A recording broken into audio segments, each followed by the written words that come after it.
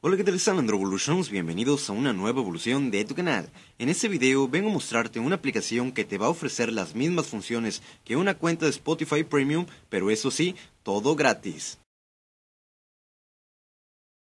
El nombre de esta aplicación es Music All y tendrán el link en la descripción para poder descargarla. Esta aplicación requiere Android 4.0 y su peso es de tan solo 7.5 megabytes. Entramos y nos vamos a poder encontrar con una interfaz bastante limpia y libre de publicidad, que esto bueno es lo mejor. En la parte superior nos vamos a encontrar con una barra de búsqueda donde podremos introducir el nombre de la canción, artista o álbum que deseemos escuchar. Si desplegamos la barra de izquierda a derecha nos vamos a encontrar con diferentes opciones como tu música, que es donde podremos ir almacenando nuestras playlists, descubrir que es donde podremos conocer los últimos lanzamientos en todo el mundo, explorar, donde podremos conocer lo más sonado de cada género y configuración, donde podremos elegir la calidad del audio y el lugar de almacenamiento de las canciones. Ahora vamos a buscar un artista, calle 13 por ejemplo.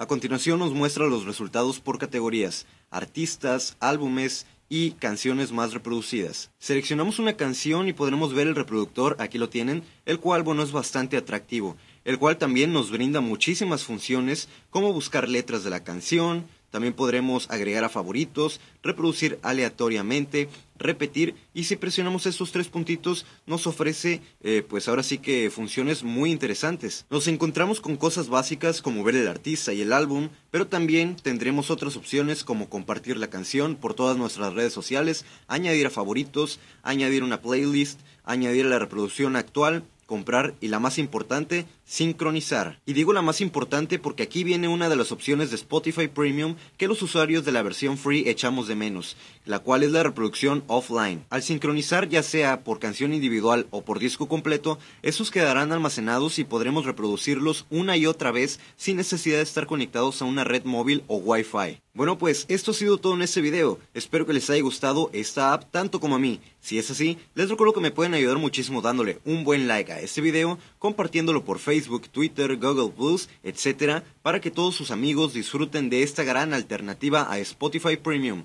Bueno pues también quisiera decirles que esta aplicación me la recomendó un gran amigo Felipe del canal Android Studios, aquí debajo tendrán el link de su canal para que pasen y puedan conocer su contenido. Bueno, pues dicho esto me despido, pero antes los invito a que me visiten por mis redes sociales, las cuales están apareciendo aquí en pantalla. Bueno, ahora sí, nos vemos hasta la próxima evolución. Chao.